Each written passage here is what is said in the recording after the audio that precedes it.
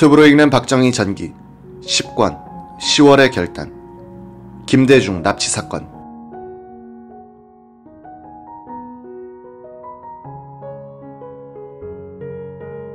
(1973년 7월 3일) 오후 2시 포항 종합제철 1기 설비 중합종공식이 현장에서 있었다.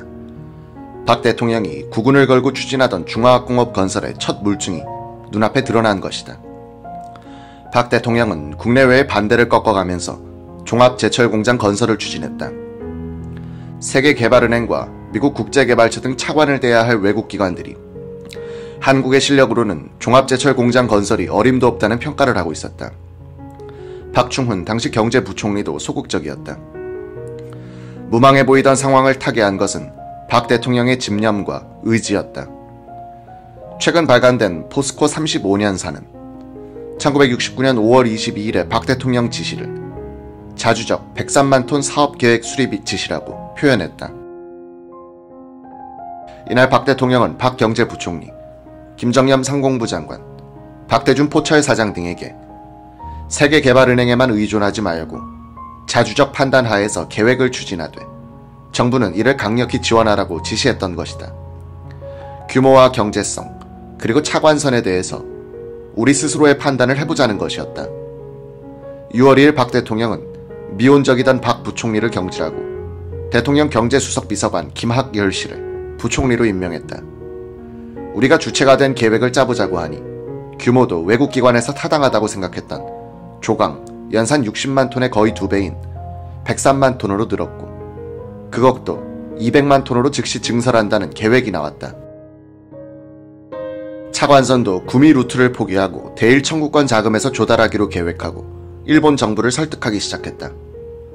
일본통인 박태준 회장은 일본의 정재계 사람들을 만나 청구권 자금을 쓸 수 있도록 고소하고 철강 3사로부터는 기술 제공에 협력한다는 각서를 받아내는 등 포철 건설의 주역이 됐다.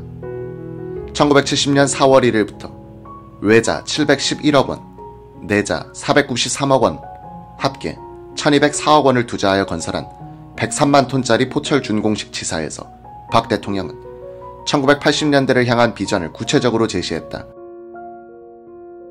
이 공장은 금년부터 계속해서 260만 톤으로 확장 공사를 하고 또 계속해서 1979년 말까지는 700만 톤 규모까지 확장할 계획을 지금 추진하고 있습니다.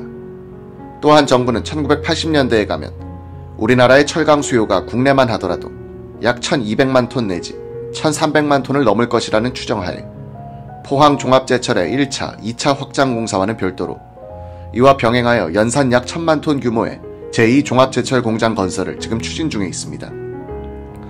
100억 달러 수출을 할 때가 되면 총 수출량에 있어서 중화학 분야의 제품이 차지하는 비율이 전체의 약 60%를 넘게 될 것입니다. 100억 달러 수출에서 약 60억 달러 이상은 중화학 분야의 제품이 나가야 된다는 뜻입니다. 여기서 눈여겨볼 부분은 박 대통령의 예측이 수학적으로 적중했다는 점이다. 포항제철은 1978년 12월 8일 제3기 증설로 연산 550만 톤 규모를 갖추었다. 이어서 1981년 2월 18일에는 제4기 증설로 850만 톤 규모로 커졌다. 박 대통령이 예언했던 대로 전두환 정부는 1980년대 광양제철소 건설을 추진하여 1990년대에는 연산 2천만 톤 생산 체제를 구축하는 것이다. 박 대통령의 위대성은 불가능하게 보이는 비전을 제시하고 이를 실천하는 점이다. 포철 신화의 연출자는 박정희, 주연 배우는 박태준이었다. 1969년 12월 포항종합제철 공사 현장에서 박태준 사장은 황량한 모래벌판에 사원들을 모아놓고 이렇게 외쳤다. 우리 조상의 혈세로 짓는 제철소입니다. 실패하면 조상에게 죄를 짓는 것이니 목숨 걸고 일해야 합니다. 실패란 있을 수 없습니다. 실패하면 우리 모두 우양우해서 영일만 바다에 빠져 죽어야 합니다. 기필코 제철소를 성공시켜 나라와 조상의 은혜에 보답합시다. 박태준 사장은 포철을 지을 때부터 정치적 압력이라 관료적 행정처리, 그리고 인사청탁을 배제해야 한다는 결심을 했다. 그는 우선 일본에서 설비를 구매할 때 포철이 공급업자의 선정 주체가 되지 못하고 정부기관을 통해서 해야 하는 것을 시정해야겠다고 벌렸다. 문제는 박 대통령에게 직소할 수 있는 기회를 잡는 일이었다. 1970년 2월 3일 박 대통령이 포철의 공사 진척 상황을 보고받고 싶어 한다고 비서실에서 박 사장에게 연락이 왔다. 위에 인용한 책에 따르면 박 사장이 대통령 집무실에서 브리핑을 하려고 하니 박 대통령은 배석 비서관들에게 나가 있으라고 했다고 한다. 이윽고 박 대통령이 말했다. 완벽주의자인 임자가 알아서 잘하고 있을 텐데 보고는 무슨 보고. 그래 일은 순조롭게 되어가나. 구매 절차에 문제가 있습니다. 어떤 건가? 박 대통령은 설비 구매 과정에서 포철이 당면한 어려움과 시정 건의를 박 사장으로부터 다 듣더니 이렇게 말했다. 지금 건의한 내용을 여기에 간략히 적어봐. 박 사장이 메모지에 쓴 것을 읽어본 박 대통령은 메모지의 상단 좌측 모서리에 친필 서명을 한 뒤 도로 내밀었다. 내 생각에 임자에게는 이게 필요할 것 같아. 어려울 때마다 나를 만나러 오기 거북할 것 같아서 아예 서명해 주는 거야. 고생이 많을 텐데 소신대로 밀고 나가게. 포철 역사에서 종이 마패로 불리는 이 메모지를 박 사장은 한 번도 써먹지는 않았다고 한다. 박 대통령의 전폭적인 지원이 등 뒤에 있다는 확신이 박 사장으로 하여금 포철을 정치와 행정의 견제나 간여로부터 지켜갈 수 있게 했을 것이다. 김정년 비서실장에 따르면 박 대통령은 공기업 사장 중 박태준 사장만 청와대에서 독대했다고 한다. 박 대통령은 어떤 면에선 기업인들의 조련사이기도 했다. 정주영 같은 야성의 인물도 박 대통령 앞에서는 유순해졌다. 박 대통령의 사심 없는 동료가 기업인들을 마음에서부터 움직였다.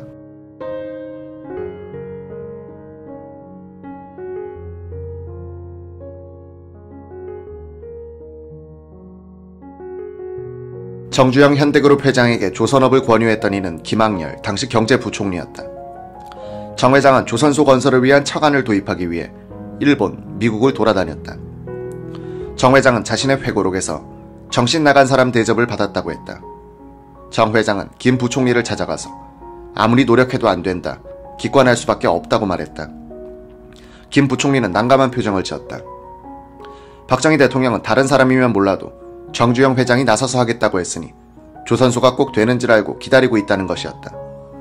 김 부총리는 이제 와서 못하겠다는 보고를 올릴 수 없으니 함께 들어가서 직접 대통령한테 말하라고 했다. 며칠 후 김 부총리, 정 회장, 박 대통령이 한자리에 앉았다. 정 회장이 말했다. 그동안 여기저기 쫓아다녀 봤지만 일본도 미국도 아예 상대를 안 해줍니다. 아직 초보적인 기술 단계에 있는 너희가 무슨 조선이며 몇십만 톤이냐는 식이니 도저히 안 되겠습니다. 박 대통령이 역정을 냈다. 김 부총리. 앞으로는 정 회장이 어떤 사업을 한다고 해도 전부 거절하시오. 정부가 상대도 하지 말란 말이오. 그러고는 입을 꽉 다물고 아무 말을 하지 않고 앉아 있는 것이었다. 그렇게 무거운 침묵이 흘렀다. 이윽고 박 대통령이 담배 한 대를 피워 물고 정 회장한테도 권했다. 정 회장은 원래 담배를 피우지 않았는데 거절할 입장이 아니라 박 대통령이 불을 붙여준 담배를 뻐끔뻐끔 피울 수밖에 없었다. 박 대통령이 입을 열었다. 한 나라의 대통령과 경제부총리가 적극 지원하겠다는데 그래 그거 하나 못하겠다고 정 회장이 여기서 체념하고 포기해요. 처음에 하겠다고 할 때는 일이 쉽다고 생각했어요. 어려울 것 알았을 것 아니요. 그러면서도 나선 거면 무슨 일이 있어도 어떻게 하든 해내야지. 그저 한번 해보고는 안 되니까 못하겠다. 그러는 게 있을 수 있어. 정 회장은 할 말이 없었다. 이건 꼭 해야만 하오 정 회장. 일본 미국으로 다녔으니 그럼 이번에는 구라파라도 나가 찾아봐요. 무슨 일이 있어도 이건 꼭 해야 하는 일이니까 빨리 구라파로 뛰어가요. 알겠습니다. 그러면 다시 한번 열심히 뛰어보겠습니다.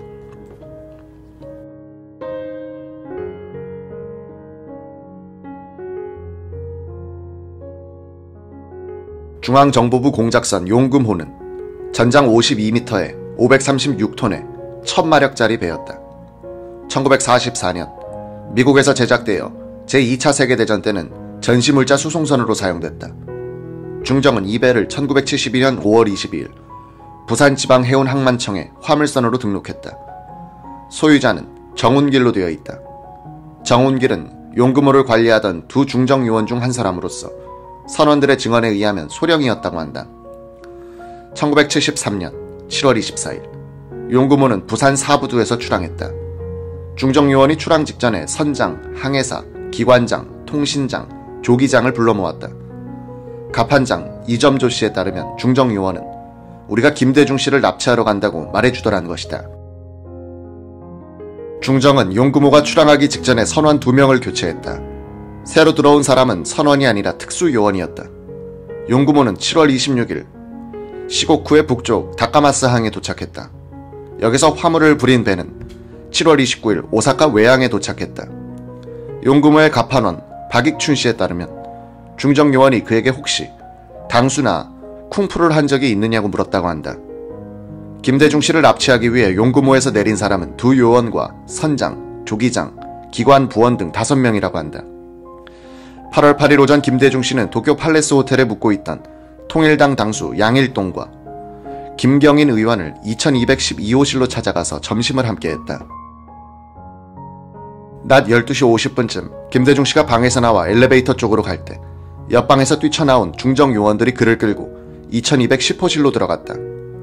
괴한들은 김 씨를 침대에 눕히고 눈과 입을 막은 뒤 마취약을 묻힌 손수건을 김 씨의 코에 들이댔다.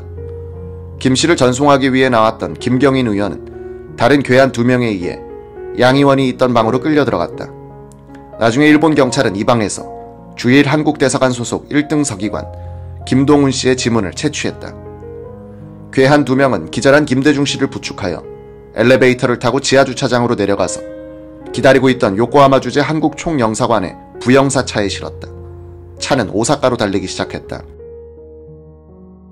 납치자들은 도중에 중정이 운영하던 안가로 김대중 씨를 데리고 들어가 손과 발을 묶고 얼굴은 코만 남기고 테이프로 감쌌다. 다음날 저녁 무렵 납치자들은 김 씨를 모터보트에 태워 오사카 외항에 있던 용구모로 데리고 왔다. 납치범들은 김 씨를 갑판 밑 닷줄을 넣어놓는 좁은 공간에 구겨 넣었다.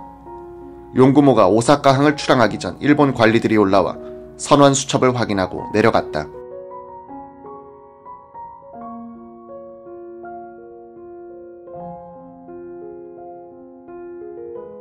한여름이라 맨발로 가판 위를 걸을 수 없을 정도의 무더운 날씨였으니 김 씨의 고통은 대단했다. 김대중 씨에게 식사를 제공했는데 그때는 손목을 묶은 줄도 풀었다. 김 씨는 식사를 갖고 온 선원에게 지금 이 배가 어디로 가고 있나? 내가 남한테 잘못한 일이 없는데라고 말했다. 김 씨는 식사는 하지 않고 기도를 계속했다. 용구모가 현해탄을 건너 부산항으로 접근할 때 중정 요원들은 김 씨를 기관실로 옮겼다. 용구모의 선원들은 김대중 씨의 몸에 돌을 매달아 수장시키려고 했다는 설을 부정하고 있다. 구출용 비행기도 오지 않았고 조명탄도 오르지 않았다는 것이다. 배에 오를 때 김 씨의 얼굴은 얻어맞은 듯 부어 있었으나 배에 있을 때 구타는 없었다고 한다. 용구모가 8월 11일 밤 부산항에 도착할 때까지 선원들은 걱정을 많이 했다고 한다. 그들은 중정 요원들이 만약 김대중 씨를 바다에 빠뜨려 죽인다면 증거인멸을 위해 자신들도 죽임을 당할 것이라고 생각했다고 한다. 선원들은 저 양반이 살아서 부산에 가야 우리도 살 수 있다고 생각하면서 신경이 매우 날카로워졌다는 것이다. 1973년 8월 8일 박 대통령은 오전에 정소영 신임 농수산부 장관에게 임명장을 줬다. 김종필 총리, 김정명 실장 등이 배석했다. 박 대통령이 점심 식사를 마치고 집무실에 들어가자마자 김정년 비서실장이 황급히 들어왔다. 외국 통신의 영문 기사를 들고 온 그는 김대중 씨가 도쿄에서 납치됐답니다. 라고 보고했다. 바로 전에 김성진 공보수석이 그 외신 자료를 가지고 김 실장 방에 뛰어들어왔던 것이다. 정말이야, 무슨 일일까? 박 대통령의 반응도 놀라움이었다고 한다. 김 실장이 사무실에 돌아와 한 30분 정도 있으니 박 대통령이 인터폰으로 무슨 새로운 소식이 있느냐고 물었다. 김 실장은 외국 통신의 속보를 보고했다. 박 대통령은 집무실로 오라고 했다. 박 대통령은 김 실장에게 만약 김대중 납치가 사실이라면 네 가지가 상정된다고 말했다. 첫째, 중앙정보부의 공작일지 모른다. 둘째, 일본 우익의 소행일 가능성이 있다. 셋째, 제1거류민단의 과잉 충성이 일으킨 사건일지도 모른다. 넷째, 김대중 씨의 자작극일 가능성이다. 실장은 즉시 정보부장과 경호실장, 그리고 제1거류민단을 관리하는 부서를 체크해 보고하라. 대통령 집무실에서 물러난 김 실장은 이우락 정보부장, 박종규 경무실장, 그리고 유관 부서장들에게 전화를 걸어 관련 여부를 물었다. 박 실장은 일본의 우익단체 사람들과 교분이 두터웠다. 박 대통령은 그런 박 실장이 몰래 우익 인사를 시켜 김대중 씨를 혼내주고 있는 것 아닌가 의심했던 것이다. 김 실장은 대통령에게 우리 쪽에서는 아무도 관계하지 않은 것 같습니다라고 보고했다. 박 대통령은 그렇다면 김대중 씨의 하부 조직이 자작극을 벌이고 있는 것이 아닐까라고 했다. 박 대통령은 이날 신관 회의실에서 주례 안보 회의를 소집했다. 이후락 정보부장도 참석했다. 다음날 박 대통령은 신임 유엔군 사령관 스틸웰 대장을 접견하고 오후에는 정부 여당 연석 회의를 주재했다. 8월 10일에는 국무회의를 주재했다.